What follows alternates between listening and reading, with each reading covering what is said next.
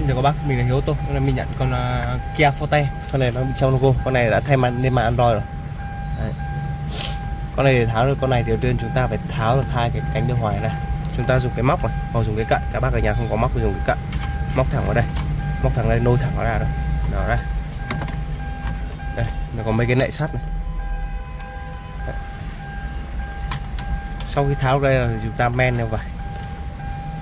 Cậy thẳng nó ra là được. Đấy. Chỉ có vậy. Tháo hai cánh điều hòa này hơi khó tí, còn ờ, là những ờ, phần còn lại thì nó khá là đơn giản.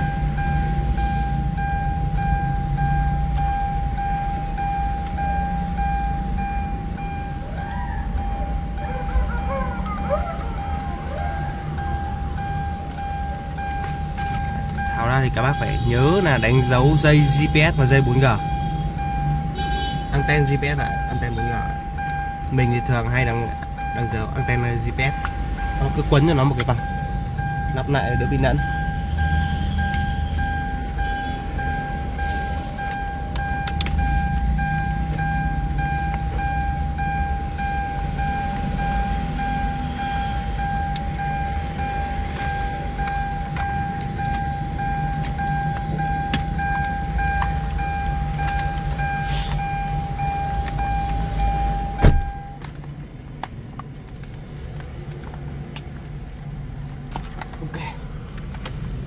Tháo cái ra thì bác đợi mình trong giây nát.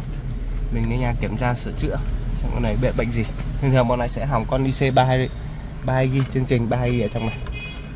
Bây giờ mình đến nhà kiểm tra sửa chữa này.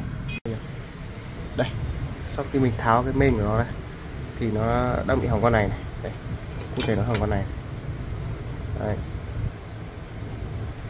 bây giờ là phải tháo con này ra. Lấy con IC mới khác, có chương trình, xong đóng nó lại là ok.